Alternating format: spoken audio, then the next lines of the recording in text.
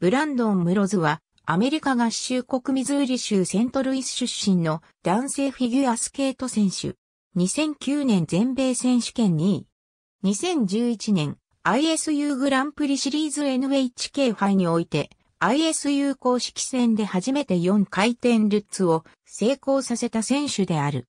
2005年からコロラドスプリングスを拠点とし、同地のシャイアンマウンテン高校に在籍している。母親はシンクロナイズドスケーティングの元選手。ミズーリ州セントルイスに生まれ、3歳の頃にスケートを始めた。2003から2004シーズンに全米選手権ノービスクラス初出場を果たすが、翌2004から2005年シーズンは地区予選を勝ち上がることができなかった。2005から2006年シーズン全米選手権ノービスクラスに2度目の出場を果たし2位となる。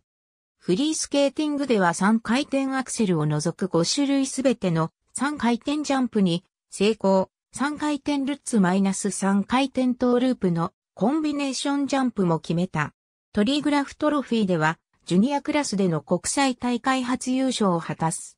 2006から2007年シーズンより、ジュニアグランプリに参戦し、JGP 台湾杯で初優勝。JGP ファイナルでは2位となった。全米選手権では、ジュニアクラスに昇級して2位となり、初出場の世界ジュニア選手権では4位。2007から2008年シーズンのジュニアグランプリは1戦目の JGP ウィーン杯、2戦目の JGP ブラオエン、シュベルターサカズキともに優勝。JGP ファイナルでは再び2位となった。全米選手権、ジュニアクラスでも2年連続の2位。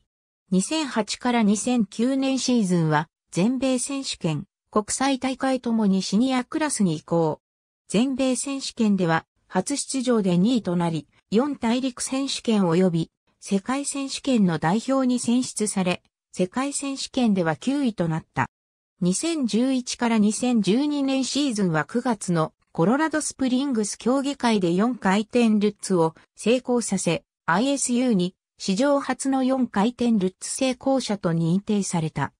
続く NHK 杯でも ISU 公式戦として初めて4回転ルッツに成功したものの、総合順位は9位と振るわなかった。ありがとうございます。